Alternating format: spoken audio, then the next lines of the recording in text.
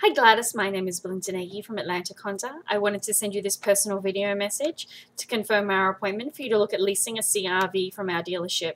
If you need to reach me, my number is 631-665-0005, extension 106.